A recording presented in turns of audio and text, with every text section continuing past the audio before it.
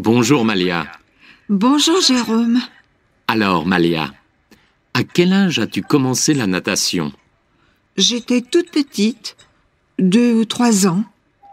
Mais pour la compétition, j'ai commencé à dix ans. Et j'ai très vite eu de bons résultats.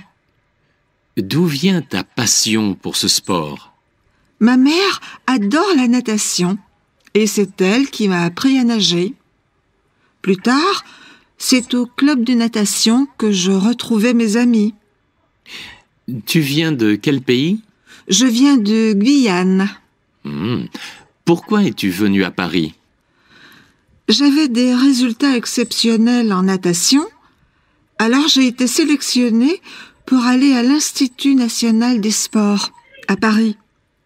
J'ai eu de la chance parce que mes notes scolaires, c'était une catastrophe. Et tu as fait des progrès scolaires depuis ton arrivée? Ah oui, cette année, je passe mon bac professionnel.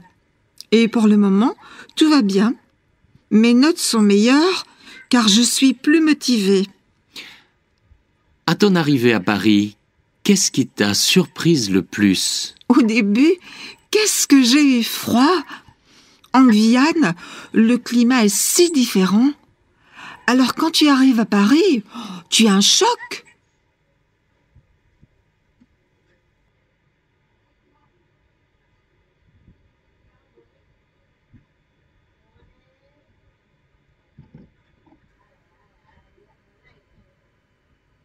Comment se passe ta journée typique?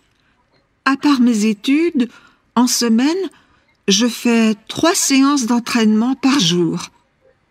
Le week-end, je m'entraîne seulement une fois, le samedi, et jamais le dimanche. Et tu arrives à garder de la place pour les loisirs et les amis? Mes amis sont tous des nageurs. Et en plus, on est tous dans la même école. On va parfois au cinéma le week-end, mais on ne sort jamais le soir en semaine. Je préfère bavarder tranquillement avec deux ou trois copains. Et est-ce qu'il y a des choses qui te sont interdites?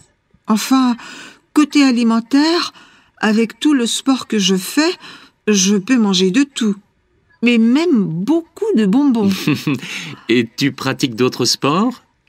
À part l'entraînement, je fais pas grand-chose. Le vélo et le ski, c'est interdit à cause des accidents. Et as-tu l'impression de faire des sacrifices? Je ne pense pas. J'ai un métier qui me plaît. C'est ma passion. Je m'entraîne pour les Jeux olympiques. Pour le moment, c'est mon seul objectif. Après, on verra.